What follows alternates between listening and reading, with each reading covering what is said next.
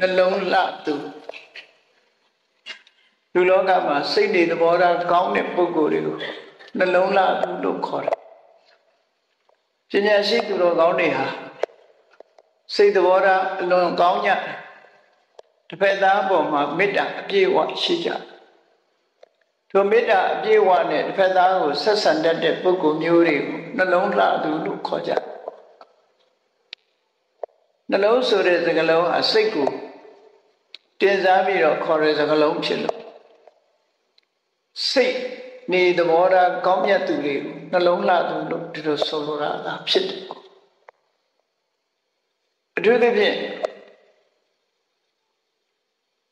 တရားတွေပေါ်မှာမေတ္တာအလွန်ကြီးမားတဲ့ဘုရားလောင်းတော်တွေတရားတွေရဲ့အကျိုးစီးပွားကိုဆောင်ရွက်နိုင်ဖို့ဆိုပြီးတော့ သူတို့ရရှိထားတဲ့အခွင့်အရေးတွေကိုစွန့်လွတ်ပြီးအများကျိုးဆောင်ရွက်လို့ရှိကြတယ်အဲဒီလိုဆောင်ရွက်တာဟာမေတ္တာကရုဏာမုရိဒဥပေက္ခလို့ခေါ်တယ်မြင့်မြတ်တဲ့စိတ်နေသဘောထားတွေရှိလို့တာဖြစ်တယ်ပေါ့ရသော်ဘုရားနဲ့ပတ်သက်ပြီးစာပေကျမ်းကမှာဘလို့ဆိုတော့ဆို ကရုဏာနိဌာနာတပ်ပေပြီးဗုဒ္ဓဂုဏရသော်ဘုရားရထားတဲ့အည်ချင်းတွေအလုံးဟာကရုဏာကိုအခြေခံထားတယ်လို့ဒီလိုဆိုတယ်အဲ့တော့ဒီကရုဏာရဲ့အခြေခံကဘယ်သူလုံးလို့ပြောရင်မေတ္တာမေတ္တာရှိမှကရုဏာဆိုတာဖြစ်နိုင်တယ်မေတ္တာဆိုတာအများပေါ်မှာကျိုးစီးပွားကိုလိုလားတဲ့စိတ်ဓာတ်အများပေါ်မှာအမုန်းကင်းတဲ့နှလုံးသားရှိပြီဆိုလို့ရှိရင် ကျင်နာသနာဖို့ဆိုတာလည်းမခက်ခဲဘူးအောင်ရင်ကြီးပွားလာလို့ဝမ်းသာဖို့ဆိုတာလည်းမခက်ခဲဘူးသိခံခွင့်လို့ဖို့ဆိုတာလည်းမခက်ခဲဘူးဒါကြောင့်မို့ပါရမီ7ပါးထဲမှာဥပိ္ပခပါရမီမုရိဒပါရမီဆိုတာမထည့်ပဲနဲ့မေတ္တာပါရမီနဲ့ဥပိ္ပခပါရမီနှစ်ခုသာဆိုထားတာဖြစ်တယ်တချို့ကထင်ကြတယ်ကရုဏာအခြေခံတယ် ကရုဏာအခြေခံတယ်ဆိုတာအပေါ်စီးကကြည့်တဲ့ပုံစံဖြစ်နေတယ်နော်ကိုယ်ရနေကြတဲ့ပုဂ္ဂိုလ်တနာတယ်ကျင်နာတယ်ဆိုတာအပေါ်စီးကကြည့်တယ်မေတ္တာဆိုတာတော့အဲ့လိုမဟုတ်ဘူးဓာတုဆက်ဆံလူတယောက်ရဲ့အကျိုးစီးပွားကိုလိုလားတဲ့နေရာမှာမေတ္တာအဓိကဖြစ်တယ်ဟိတာကာရလက္ခဏာအကျိုးစီးပွားကိုလိုလားတဲ့စိတ်နေသဘောထားတွေ မေတ္တာဆိုတဲ့စကားလုံးကမိတ္တတဧတမေတ္တာလို့ဆိုတဲ့အတိုင်းမိတ်ဆွေရဲ့စိတ်နေသဘောထားကိုမေတ္တာလို့ခေါ်တာကိုတုံးတဲ့ဒီမိတ်ဆွေဖြစ်ပြီဆိုလို့ရှိရင်တနာဖို့လည်းမခက်တော့ဘူးအောင်မြင်လာရင်လည်းဝမ်းသာဖို့မခက်ဘူးခွင့်လွတ်ဖို့ဆိုလည်းမခက်တော့မိတ်ဆွေမဟုတ်ဘူးဆိုရင်ရာရာခက်ခဲသွားလိမ့်မယ်မိတ်ဆွေမဟုတ်တဲ့ပုဂ္ဂိုလ်တယောက်ပေါ်မှာကျင်နာမှုဆိုတာလေခက်ခဲတယ်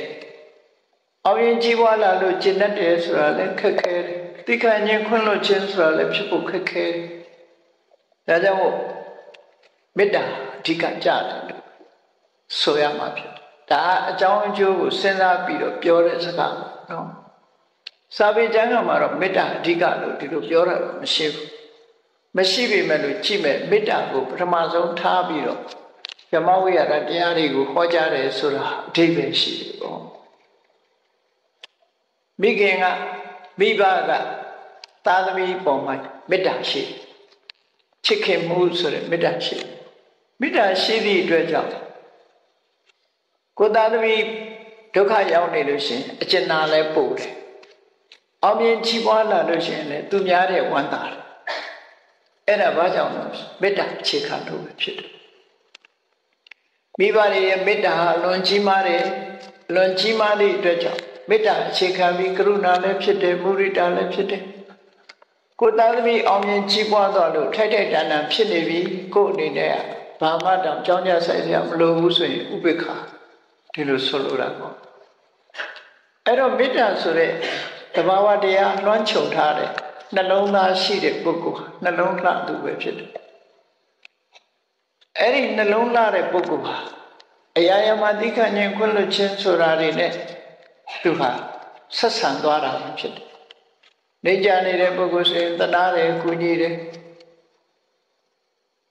အဲ့ဒီလိုစိတ်ဓာတ်မျိုးတွေနဲ့ဖြစ်ပေါ်လာ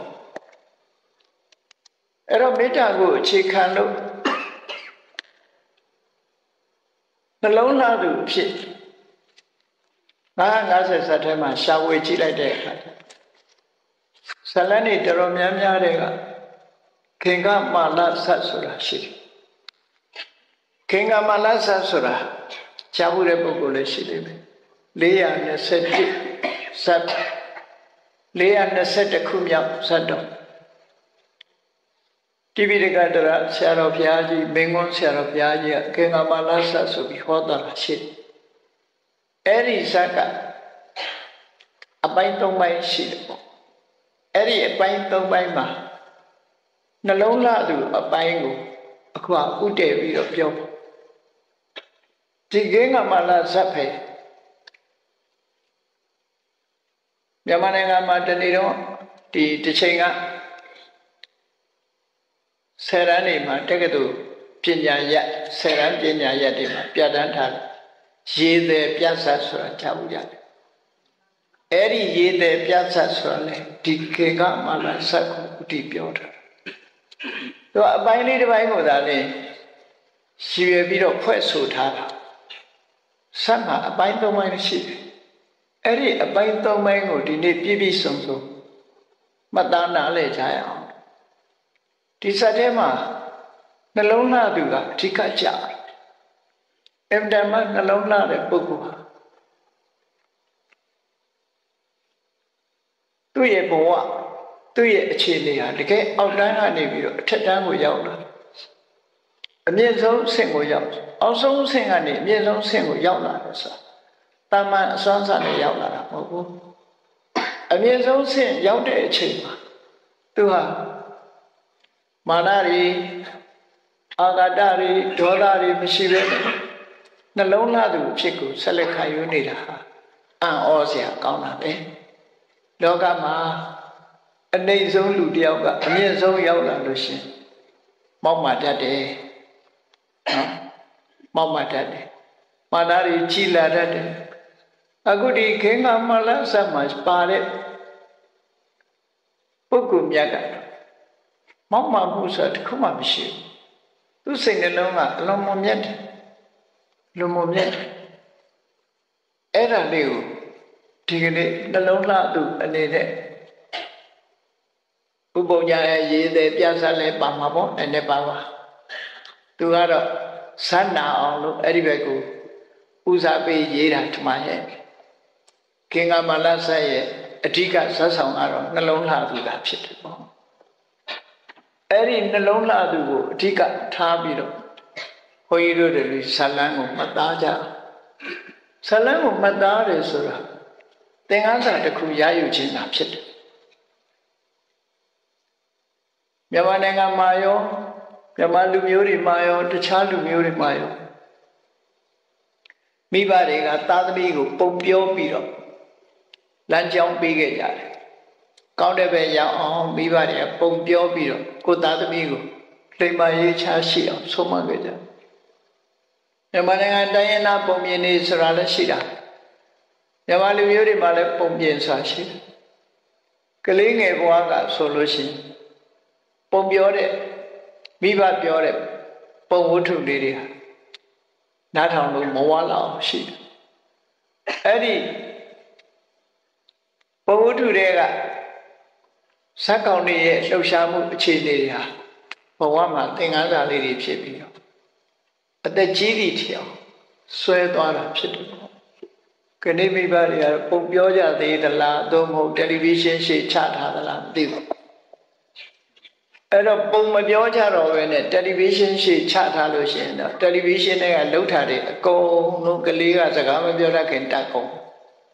ဟုတ်တာတွေရောမဟုတ်တာတွေရောနော်အကုန်လုံးတက်အောင်အဲ့ဒီထဲမှာနိုင်ငံခြားရုပ်ရှင်ကားတွေသွားပြီးတော့ချထားတယ်နိုင်ငံခြားရုပ်ရှင်ကားကြီးတွေတတိုင်းတိုင်းနဲ့ဟိုပြစ်ဒီပြစ်ပြစ်နေရင်အဲ့ဒါတွေအတူခေါ်ကုန်များ